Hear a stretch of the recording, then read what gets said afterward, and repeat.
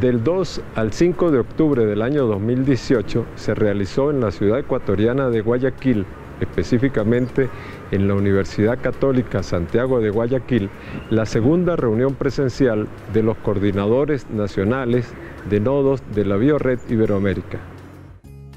Además de evaluar los logros alcanzados, las dificultades encontradas y el establecimiento de nuevas actividades, se realizó la presentación de un taller ante los asistentes al séptimo Congreso de la Sociedad Latinoamericana de Agroecología, SOCLA.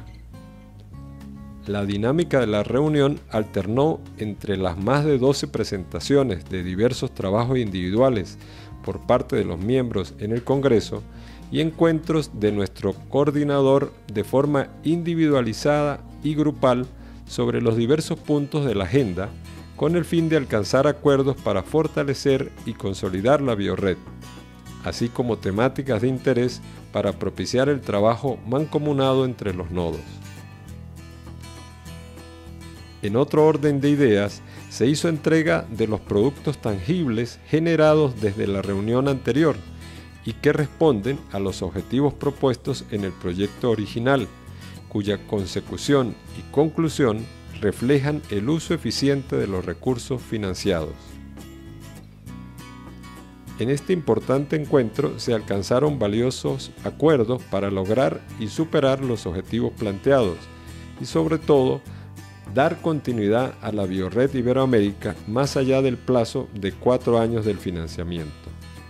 Podemos igualmente anunciar que el profesor Enrique Hipólito invitó a celebrar nuestra próxima reunión en Veracruz, México, sede de su prestigiosa universidad, ofrecimiento que fue agradecido por todos los presentes.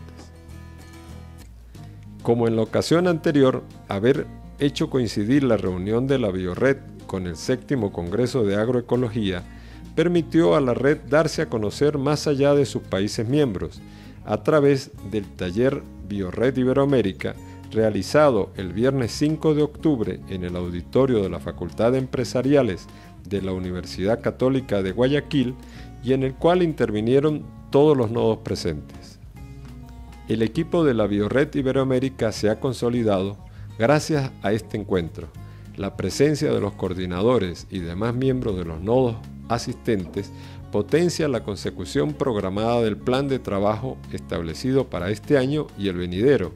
y además motiva el trabajo a lo interno de cada grupo en favor de la consecución de los objetivos comunes. Seguimos trabajando con una agenda clara de actividades articuladas y compromisos asumidos, cuyo seguimiento y evaluación serán continuos.